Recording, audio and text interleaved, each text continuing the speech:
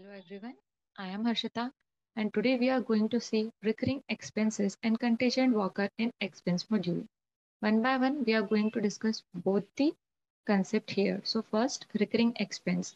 Recurring expense are the expenses that one incur repeatedly or periodically. For example, phone bill. Fine and in expense one can schedule this recurring expense to eliminate a repetitive expense entry. So for that what we can do is for eliminating the repetitive work, we can make a expense item in the expenses and while creating expense item, we can mark that expense as a recurring in nature. So what we will do is we will go to the instance, we will create expense item there and after creating expense item, we will select that item and from action menu, we are going to mark it as a recurring expense and when we will mark as recurring expense, we can also give a frequency of the recurring expense like weekly, monthly, etc. So uh, we will move to the instance and we will see that. But before moving to that, there is one more concept of the contingent worker. We will discuss that. And then we will see both the concept together in the instance. So what is contingent worker? Contingent workers are the workers who don't have a direct employment relationship with your company. They are supplied by an employment agency or a self-employed contractor. So these are known as contingent worker. They are associated with suppliers that are set up in expenses so that they can uh, submit their expense report. Contingent worker can submit expense report only.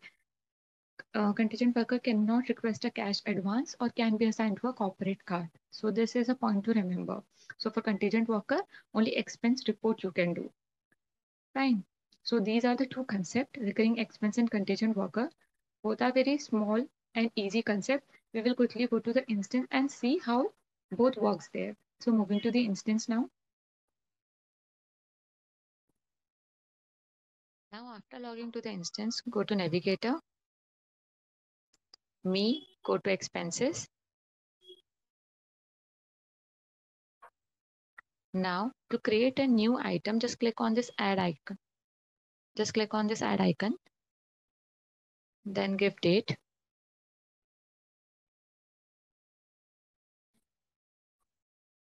I'm giving today's date and in October.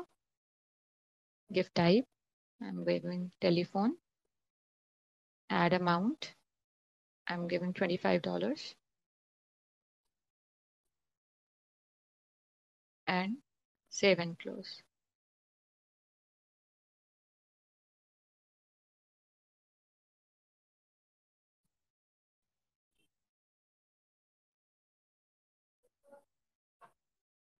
Now here, just select your item which you have created. After selecting this item, go to actions. And here you can see mark as recurring expenses coming. Click there. You can also add frequency from here like monthly, bi-weekly or weekly. I'm giving monthly here. So you can see here recurring monthly is coming after we have marked it as recurring expense and given frequency as monthly. So this was very small and easy concept in the expenses that how you can create item and mark it as a recurring in nature. So this was all about it. After seeing the concept of recurring expense, now we will go for contingent worker. So first we are going to go to navigator, expenses, under mm-hmm. expenses, go to auditing. And from the task list, go to manage expense contingent worker to see how supplier and contingent worker associated with each other. So for creating a new, just click on this add icon, give a person name.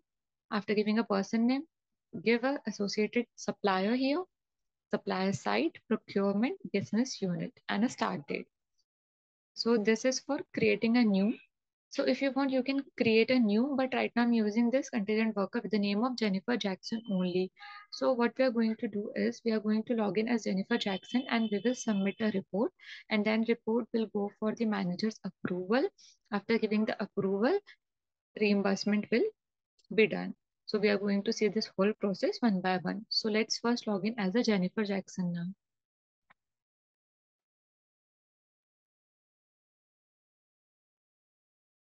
So as you can see here, I have logged in as Jennifer Jackson. So for creating expense report, going to navigate Navigator, Me, Expenses.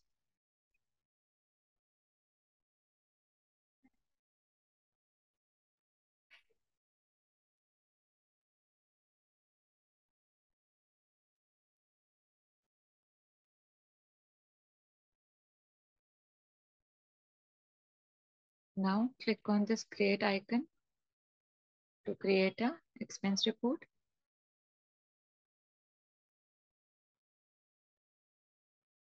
Give purpose.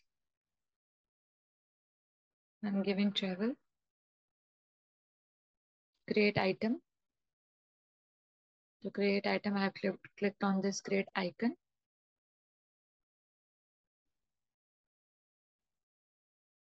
Now select a date here.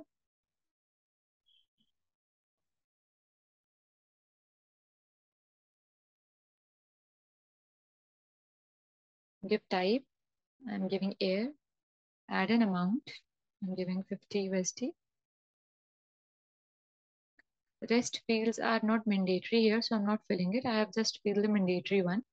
And I'm just saving and closing it now.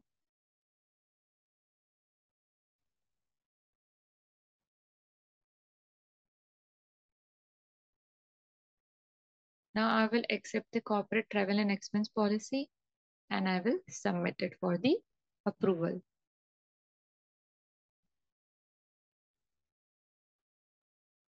So expense report submitted for approval. So this is pending for approval now. Jennifer Jackson manager is Matthew Schneider. So I'm going to log in as Matthew Schneider and I'm going to approve this report for the Jennifer Jackson. So let's log in as Matthews.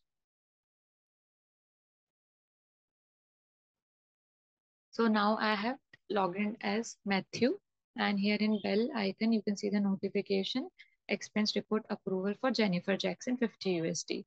So I'm going to approve it from here. If you want to go for details, you can just click on this hyperlink. Right now I'm approving it from here only.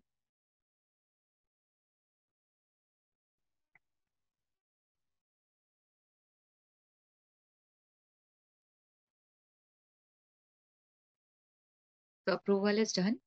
Now we will log, log in as Jennifer Jackson again for the further process.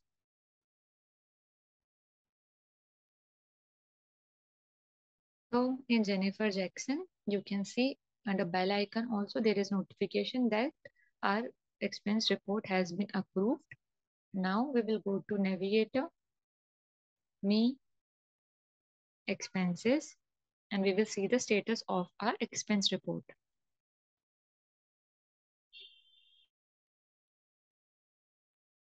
Now you can see ready for payment processing is coming. So as Jennifer Jackson was not having the required role to run the process for reimbursement, so I have logged in back as Matthews and I will show how to uh, run the process for reimbursement. So go to navigator, under navigator, go to expenses and under expense, go to auditing here. Go to task list For process expense reimbursement and cash advance. Select your business unit. I'm giving my business unit here, US one, and expense reimbursement and submit.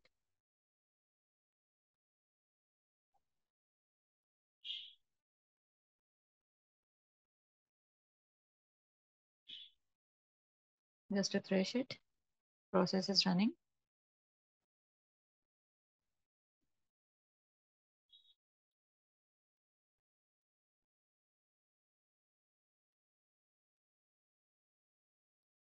Completed,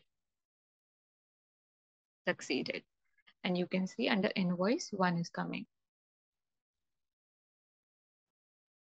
Then you will click on this hyperlink, you can see the detail of this invoice.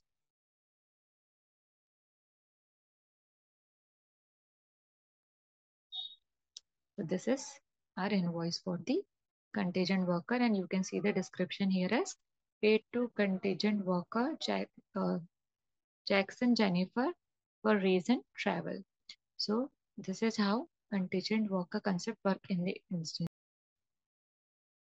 So one more thing I would like to add here is where what is the difference between the employee and the contingent worker in this process is when you will submit this expense reimbursement and cash advance request for the employee under payment request you will see the effect and for the contingent worker you are going to see under the invoice this one and when you will click on it you can see the details here so this is one basic difference between the process of employee and contingent worker reimbursement.